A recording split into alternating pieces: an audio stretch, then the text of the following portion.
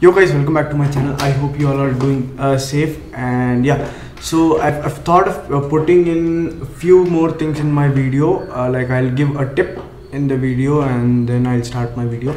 So yeah uh, today's tip will be uh, do not run behind the certificates because uh, running behind certificates would not prove that you are knowledgeable in any ways. So yeah so never run behind certificates. Run behind the knowledge that you gain from that course or anything like that.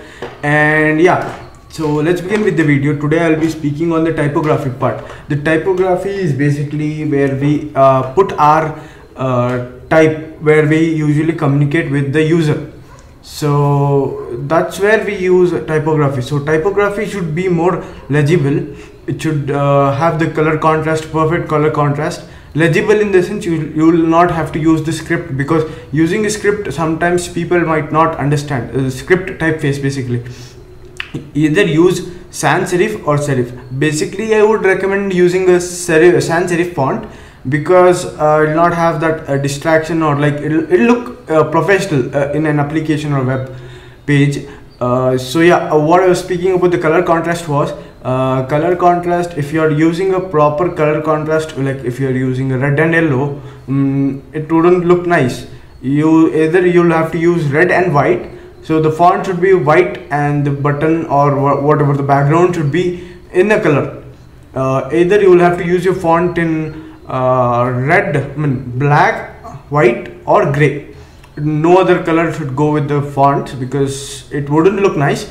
You can use you are free to use any color but uh, these three colors should actually be in the more prominent part. And yeah. So basically this is what a typography is about.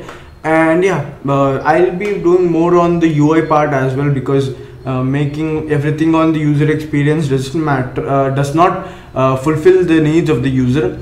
Uh, you'll have to look into the beautif- beautification of the product and yeah so that's why uh, typography is very important because it, it, it is the major thing that actually uh, communicates with the user.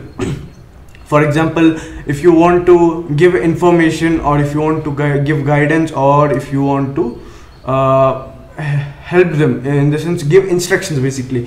So for that it, uh, the typography should be more legible so that we will have to we, so that the user finds it easy to read and follows the instructions in the application or web page.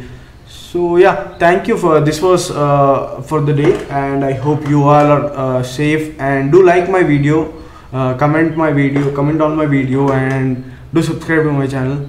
So till then see you soon guys. Bye